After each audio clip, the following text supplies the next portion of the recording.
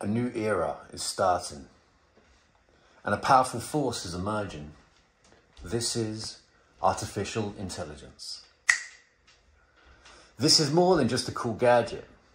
It's a big change that could reshape our lives, our work, and how we connect to the world. Keep in mind, AI isn't just another tool.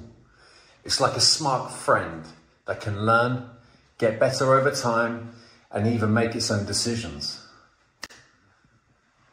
It could affect a lot of things, from the way we look after our health, manage our money, to how we learn new things. But having this much power means we have a big responsibility. The impact of AI could be huge, and we need to think hard about how to use it to make sure it's fair, protects our privacy, and keeps jobs safe. Just like anything powerful, we need to handle AI with care. We need to keep talking about how to use AI right and make rules for how it should be used.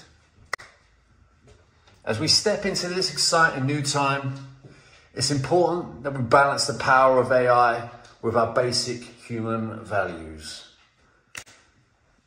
It's up to us.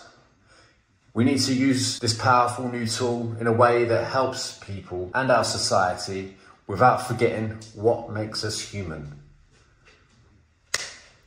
In the end, the real power of AI isn't in the technology itself.